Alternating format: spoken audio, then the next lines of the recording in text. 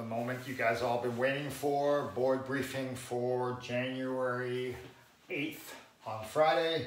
Our warm up, we got three rounds, 30 second hollow hold, 10 glute bridges, 20 prisoner good mornings. Um, then we got some prep work here and it involves a bit of a frog stretch. Okay, so we're gonna hang out in frog stretch for two minutes. Then we're gonna hit this two rounder of 10 kettlebell sit-ups per side, 10 kettlebell pass-throughs, 10 kettlebell bridge ups per side. And then we're gonna review the movements in the workout. Okay. And then three, two, one, go.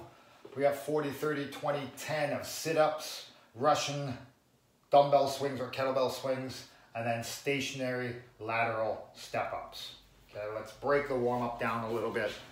Um, getting the core fired up.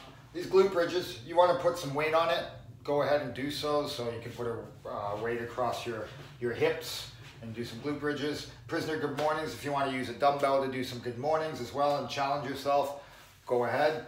Um, otherwise, we'll do prisoner ones. Okay. Our frog stretch, we're just gonna get our um, inseam or our groin muscles, adductors uh, stretch out a little bit.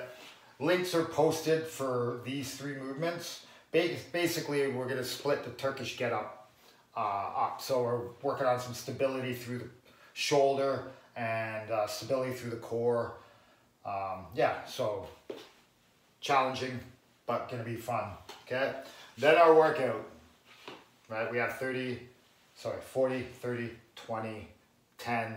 We got sit-ups, Russian dumbbell swings, and then stationary lunges. So when it comes to the lunge, right, the stationary lateral step-ups, we are gonna split them in 20s the first round. So it's 20 on one side. You must complete the one side before starting the next side, okay? Foot can stay up on the box, foot comes down, touches the ground, you can go right back up. Let's also keep in mind that we want good posture, okay? So let's have our um, full foot on the box, pressing down through our heels, activating our glutes instead of leaning too far forward and getting on our toes and starting to use our quads too much, right? With the dumbbell for these lun or these step ups, you can hold the dumbbell however you'd like.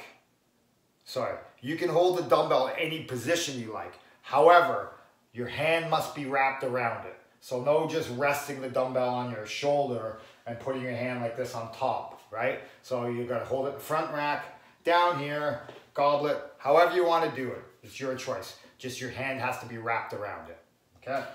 Um, yeah, that's it. Challenging day. Um, hit it hard, boys and girls.